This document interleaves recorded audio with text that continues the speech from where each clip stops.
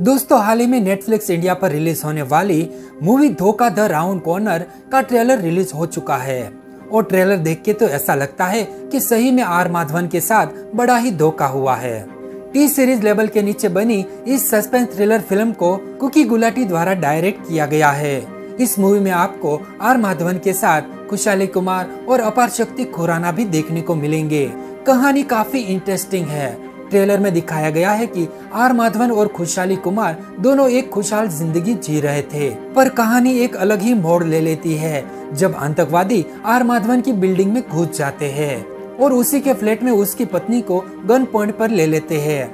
ऐसे में शहर की सारी पुलिस उस बिल्डिंग को चारों ओर से घेर लेते हैं, मगर वो आतंकवादी वहाँ से निकलने के लिए खुशहाली को गन पॉइंट पर रखता है और साथ ही पचास लाख की फिरौती भी माँगता है।